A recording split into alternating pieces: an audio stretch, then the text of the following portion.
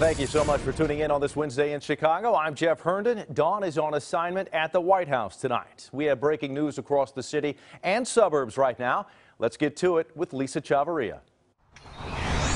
Jeff, we are live here at Chicago Police District 11 where investigators are taking a look at a Facebook Live video showing a group of people holding a young man hostage. Chicago police tell us four people are in custody tonight, and we must warn you the video we are about to show you may be considered graphic.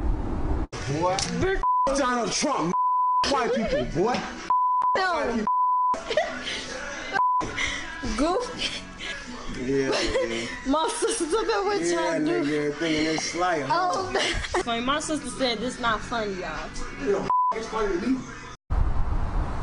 Chicago police were made aware of this video yesterday afternoon. A young African American woman streamed the video live on Facebook showing at least four people holding a young white man hostage. He is repeatedly kicked and hit. His scalp is cut, all while he is tied up with his mouth taped shut.